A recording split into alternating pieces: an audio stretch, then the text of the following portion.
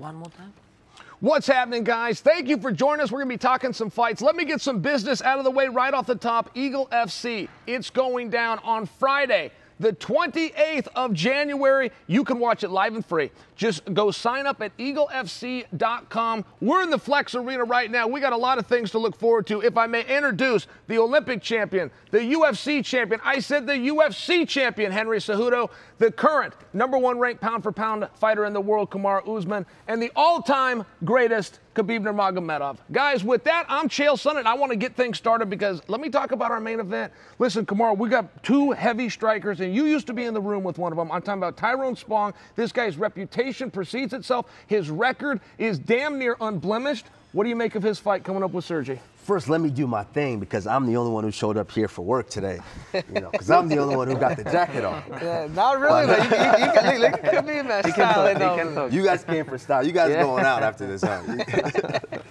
but uh, yeah, absolutely. Fantastic main event. You've got Sergey Kharitonov, who's got a world of experience. Sure. You know, has fought all over the world, everywhere. And then you've got Tyrone Spong, who has knocked people out know, from everywhere, all over the world. I mean, probably one of the most decorated strikers that we've ever seen. And you used to and, be in the room with Tyrone, correct? You guys were yeah, teammates at one point. Yeah, it, it was. Uh, I was unfortunately in a room with this guy to where uh, it was striking day. Everyone tried to and, uh, and it was more like yeah, avoiding it day. Was, it, was, it was striking day, so you had to avoid this guy at all costs. But uh, over time, he just became a complete, well-rounded uh, fighter to where he could strike, he could grapple.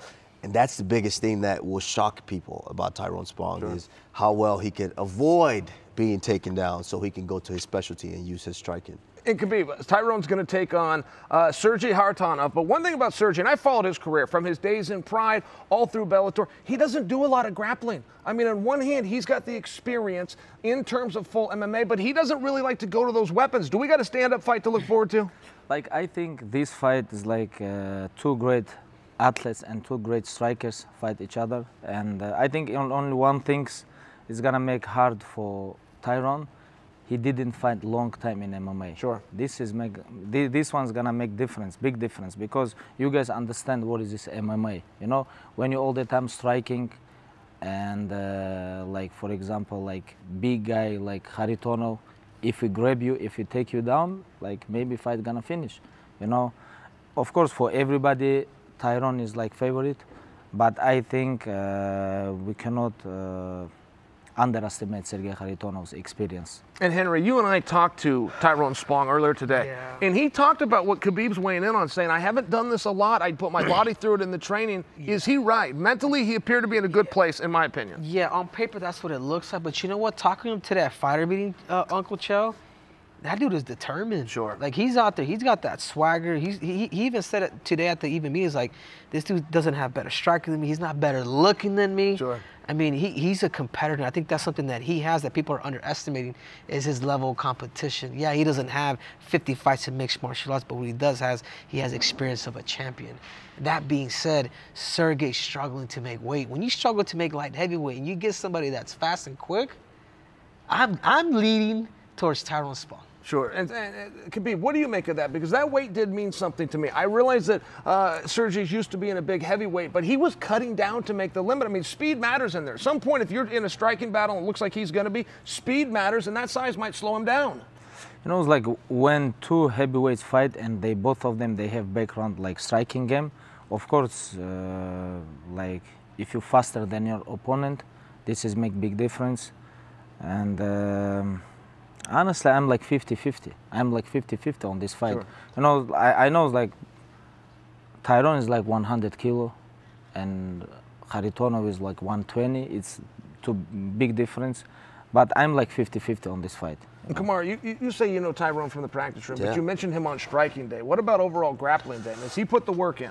He has put the work in, uh, but I, I, completely agree with what Khabib is saying. It's that time off, it's it's a big it's a big big thing. It, it's important because, I mean, you, there's something different about when you're inside this barrier right here. When you're inside this cage, it's a, it's an added pressure that you feel. Sure. It's different than when you're in a, in a practice room in a training room and there's no you're not in that cage to where you feel that added pressure that you can't get out, you can't get away, you can't rope a dope, you can't do some of the things that you want to do. There's a big thing to be said when you haven't been in here for a long time, Yeah. and of course with the with the nerves and the jitters of knowing that there's a, a guy across from you that's trying to take you out. Sure. So I, I- I think this is going to be an interesting one. I have watched Tyrone train and prepare for these, you know, the last few weeks, and I will say he's looking fast. He's looking quick. Of course, the experience is there. He knows how to line you up and put that perfect strike in the perfect position and get you out of there. But I'm on the fence too. Sure. I I'm hear on the fence. Well, I looking at it now see too, Cho, is this cage ain't that big. I was noticing. I that. was like, man, Yes. these freaking heavyweight, these two Godzillas are about to go at it. And this is gonna be a full-on war. Sure. And Khabib, I was very excited when you put uh, Rashad Evans on the card. Rashad Evans comes with some nostalgia for me. Back when I was dreaming about being a fighter, things like this, he was already fighting on TV. He had a world championship when I was getting signed uh, to major organizations. Couple of things that Rashad has done since he retired. First off, he went into the Hall of Fame, most uh, tremendous honor that our industry gives out. But second, guys, he became what's called a fruitarian. He gave me an entire talk on this new diet. He- He doesn't eat anything but fruit, fruit and vegetables. It's changed his body. He says for the better. He says he's feeling faster. He said because of this new diet is what's allowed him to do the training to get into this competition. What do you make of that? Uh, honestly, I don't know about this guy diet. Nothing but fruit. No Yeah. chicken. I asked him that. I go, no chicken. Never a candy bar now and then. Nothing but fruit and vegetables. you know, it's like like Rashad. Rashad is a legend. You know, on this sport. I remember like when I grew up, I was watching his fights. You know, it's like amazing now. Like after that, I become UFC fighter. I become UFC champion. I'm retired. Now I open my organization, new organization. You know, it's like now he fighting in this promotion, Eagle FC. This is like crazy, amazing. This guy is like living legend. You know, for me and uh, of course he's UFC Hall of Fame, you know, and I'm very exciting. Honestly, like uh, I really want to see how Rashad win, but same time he a very tough opponent, very tough opponent with a very good ground game and heavy hands, you know, and um I don't know what's gonna happen. Let's see. And speaking of Rashad's opponent, he's got Gabriel Checo. Checo has been uh, most busy doing grappling, real competitive grappling events. He's got good hands. He's done plenty of MMA, but he believes if he can get this fight to the ground, he's going to have an advantage. And Henry, sometimes I think we have to remind people Rashad Evans was an NCAA contender back in his youth. Yeah, and I, I love this style matchup because when we asked Pacheco today uh, during uh, during a fight uh, fight meeting, he was like, "Man, listen, I got no game plan. I'm gonna go out there. I'm gonna tear his head off, and if he does take me down, I feel extremely comfortable on my back." Sure. And I'm just like, man, I'm like.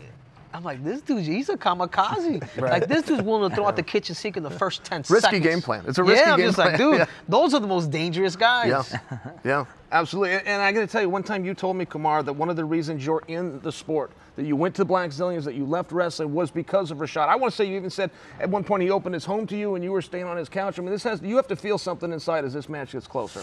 Absolutely, and you know, I- a little nostalgia for me too because I, I was I was ringside when you and Rashad got it on back in the day, uh, which wasn't that long ago. Sure, yeah. It It seems like long. back in the day. It feels like back in the day, yeah. But one thing, you- you're right. I was there for all of those with Rashad. I was there while Rashad was still eating chicken. Sure. I, I was there through all of that. And so now being here and actually seeing Rashad go through this whole diet change and, and, and, and this whole process, it's interesting because I haven't seen it in competition. Of course, I, I actually got to go in there and train with him last week where, of course, he's, I still feel the strength and it's changed his body so he, he's able to get his weight down and, he looks amazing at that weight but I don't know what that's gonna how that translates over in competition. Sure. I don't know. Being honest, I don't know. I'm- questions, Of course, there- sure. there's questions, and that's just what I'm putting out there. Of course, when it comes down to picking a side, that's 100%. I love Gabriel Pacheco and the confidence that he's bringing, uh, but Rashad Evans is Rashad Evans. And Khabib, you got a couple of guys that are proteges representing your father. Rest his soul, by the way. I'm in the same position. They're both looking down on us right now, Khabib. But I got to tell you, they have a lot of pride in that, and they got a lot of pride in country. And they were talking about Dagestan more times than they were talking about fighting or even talking about their opponents. What's that like for you, and what can you tell us about these athletes that you've seen in the practice room and brought to competition? Yeah. You know, like for example, to uh, like Raymond, for example, Raymond Magomedaliev, he's gonna uh, open uh, main card with uh, Anthony Njokuani. You know, this is two great strikers. You know, it's gonna be an amazing fight. You know, I'm very excited about this fight because they both great strikers. You know, and uh, I know Raymond can wrestle too, but he loves he loves striking game. You know, this guy very fast. You know, it's like uh, this guy put sleep a lot of people on amateur career, and right now, couple years he just beginning his uh, professional career. Already he fight everywhere in Russia, Asia. You know. Now when did you meet him, we- Khabib? Was he just a little boy? no, Came no, no, no. He? I, I, I met him a couple years ago. He was he beginning his, um, I think uh, in uh, Ushu Sanda. Yep. Ushu Sanda. This is different school in Dagestan. Just when he jumped to the pro MMA, he just moved to our school. You know, because like for pro MMA fighters, you know, like of course for welterweights, our our school is the best. You know, like lightweight, welterweight, featherweight. We have not one of the best in Russia. We have like one of the best fighters in the world. You know. Sure. And he joined with us. Right now, he like Friday night he's gonna fight here in uh, Eagle FC 44. You know, and his opponent, his opponent Anthony Njokuani, this guy, he have a lot of fight in UFC. You know, a lot of great fights, and uh, I'm very excited about this fight. Does that put nerves on you or does that put pride on you? To see one of these young men that you got to be there with in the practice room, how, how do you feel inside? Honestly, same. Like, of course, I'm a little bit nervous too. You know, like because, and um, now I have to be a little bit away. You know, because this is my promotion, and I cannot, I cannot say, oh, let's go for Sure. one of them. You know, that's why. I'm gonna be just watch and enjoy with this fight. He can't say that, but I'm gonna. Jump I know on we're not Chair, at that part of the show yet, but I'm gonna jump on it. He's fighting the assassin, Anthony Njokuani. Fun fact: one of the first, if not the, I think he is the first Nigerian in the UFC. ah, Yes. Maybe first So, from Africa, f- in the UFC. Ni- He's a Nigerian. Nigerian. Yes. So most people don't know that, but I've been watching this guy for years. I, I watched the way that they strike him and his brother Chidi Njokuani. The way that these guys strike, they are. I mean, it's it's just a, different. frenzy It's of different, just yeah. throwing techniques out. Yeah. Every technique they can sting you from either hand, from either stance. And this is gonna be a fun fight. So I know you like your boy Raymond, but Yeah. Anthony, let's get this one. Yeah, Let's go. and think about it too, Chels. Like, man, I was, I was when we were talking to Anthony during fight meeting. This guy has beaten guys like Andy Souwer. sure. Like, dude, Andy Good Souwer. I'm like, you, you beat Andy Souwer In kickboxing, right? Yeah, Pure I'm just kickboxing like, rules, yeah. So the dude is the real deal. I mean, if you know, it, it's I, I, to, in my eyes, looking at the whole card, I think that fight right there is going to be fireworks. Someone's going to end up in a stretcher. And Henry, rounding out the main card, but we got Gibson taking on Ray Borg. These guys are fighting at 35, but they used to both do time at 25. Your weight classes, certainly you've studied these guys somewhere along the way, never knowing if they were going to be next. Yeah, and to me, this fight's gonna be the most competitive now. So it's pretty cool the way it, it's been set up because Cody Gibbs, he's a former UFC fighter. I mean, his last fight, he beat John, uh, John Dodson. Sure. You know what I mean? John Dodson, he was a, a two-time UFC flyweight contender. Couldn't beat Demetrious Johnson, but dude, he was right That there. was two months ago. They just fought. Yeah. Exactly, and obviously Ray Borg knows that he fought his teammate, so he knows how good he is. Sure. I mean, he literally beat Ray Borg's teammate, and Ray knows what he's up against. But at the same time, Ray Borg, he's experienced. He's a title contender himself, and he's been there before. I like, I love the way he mixes his fighting, and I think at 135 pounds, it's going to be good for him. He's going to be able to display more of what he knows and more of what he has, and this is going to be a great fight. All right, Khabib, give us one name from the undercard, somebody we should keep our eye on. I think I'm very excited about Sean Bunch. Sean Bunch. You know, I remember when first time I just came to AKA, this guy met me in airport. Sean Bunch, you know. He was your driver. He came to Where, pick you where'd up. he take, Yeah, where'd no, he no. take you after he met you? He he just he just he just met me in airport and he told me I'm Sean Bunch. Like okay, Sean Bunch, and I I I, tell him, I didn't know English. Like he, we don't understand each other. But I tell him right. I remember, it was long flight from Russia. You know, like almost one one day I didn't eat. You know, and I tell him let's go to the McDonald's. he look at me, what? I said, let's go to the McDonald's. He take me to the McDonald's. We enjoy, but we don't understand each other, you know. and then he say, I was I was in Russia. I compete I compete with a lot of Russian wrestlers. Then we become good friends, you know. Then we become good, good friends. It was it was he just finished his uh, wrestling career. He just moved to pro MMA, you know. And uh, yeah, I'm very excited about his comeback, you know about uh, his fight Friday night, you know, and uh, and he have good opponent. His opponent is record like eight and two. He's very tough opponent, you know, from Uzbekistan. And Kamaru, I think, yeah. I think this guy is striker, striker, striker. He have very good striking game, and uh, of course, of course, I'm worried about him too. And you know, like same time, always good to see how Sean Bunches fight because this is one of the fastest guys I ever met in, inside the gyms. And Kamar, speaking of Sean Bunch, you as a wrestler were competing about the same time as Sean Bunch. Do you remember his uh, trilogy? They did that in New York when he did the final wrestle off with Coleman Scott. Do you remember that? Absolutely. It went absolutely. to all three matches. Sean Bunch, Bunch the Great, we call him. Sean Bunch is a, a good friend of mine. Um, I too am looking forward to his fight. I, I think Sean is, uh, as he mentioned, one of the fastest, as far as quick twitch muscle guys that I've ever been around and he's had a lot of ups and downs in his career, but you know, he's a new father now and, and he's getting everything in order, getting the career going, and, and, it's just a new added motivation for him. So I'm excited to see how he, he gets back on the horse after coming off of a win, you know, this one. I'm also excited about another fight. Demarques Jackson. Sure. On that undercard, a guy that I trained with for years. He's training out down here in Sanford MMA. I'm excited about this fight. I think uh, Demarques We're talking about guys that are fast. Hey, Demarques is fast himself. Very fast, extremely well-rounded. That's the crazy thing about it. He's well-rounded. Just also had a lot of ups and downs in his career. Just can't squeak out that split decision win sometimes. So I'm excited to see him just go out there and just put on that killer instinct and, and, and you know do well. Yeah. And Henry, someone from the undercard. Give us a name, buddy. No, I'm gonna have to go with Sean Bunch. Sure. It's ironically that we all know him. He was actually my Olympic uh, he helped me get ready for the Olympics. Training partner. Yeah, training partner. And I actually moved out to Ohio to actually train with Sean Bunch. So we have a history, man. Like, if there's anybody that I spend the most time with in that whole room, I mean, you're talking about speed, Joe. I don't think I've ever wrestled anybody faster.